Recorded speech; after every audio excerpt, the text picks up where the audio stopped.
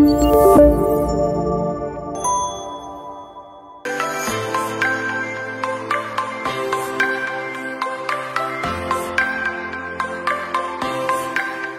الندوة اليوم يكتسي أهمية راهنة ألا وهو الاستثمار العمومي الترابي بالمغرب بالنظر إلى الإشكالات التي يطرحها هذا الموضوع وبالنظر كذلك إلى الرهانات المعقودة على الجامعة الترابية باعتبارها يعني داعم أساسي للاستثمارات العمومية الترابية.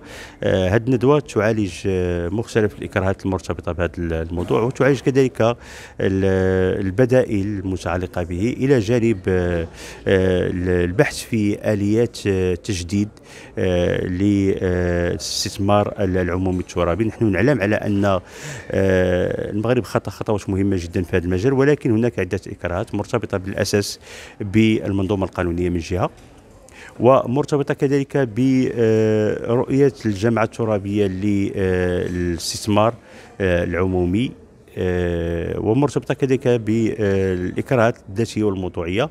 آه، فأربع جهات من آه، المملكة تستحوذ على الاستثمارات آه، آه، العمومية. كما أن هذه الجهات هي آه، التي نجد فيها تحفيزات إدارية ومالية من أجل تشجيع الاستثمار العمومي في غياب باقي الجهات الأخرى. وهذا يعني يشكل عائقا بالنسبة للجماعة الترابية.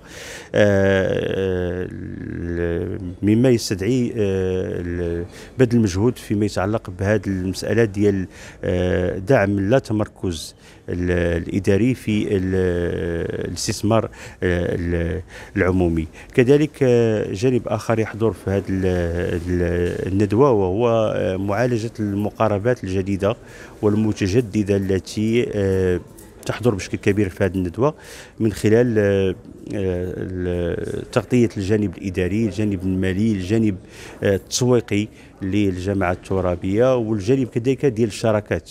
آه، إحنا كنعرفوا على أن القانون آه، جاء يعني بآليات آه، متعددة من ابرزها مثلا صندوق العالم القروي والمناطق الجبلية وصندوق ديال الدعم بين الجهات ولكن كيبقى مع ذلك هذه المحدودية حاضرة بشكل كبير جدا. فلا بد من مساءلة هذه الآليات الجديدة فيما يتعلق بدور ديال الاستثمار العمومي الترابي.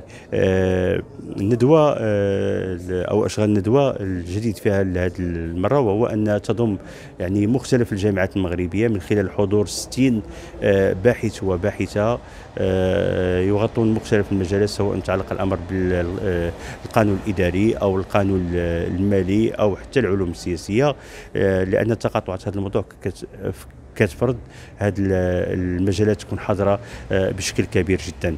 فبالتالي هدفنا في هذه الندوة هو أننا نسلط الأضواء على الإكراهات.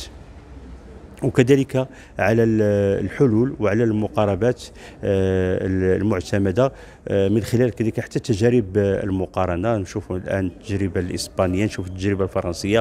فيما يتعلق بهذا المجال ديال تدبير آه، الاستثمارات العمومية الترابية.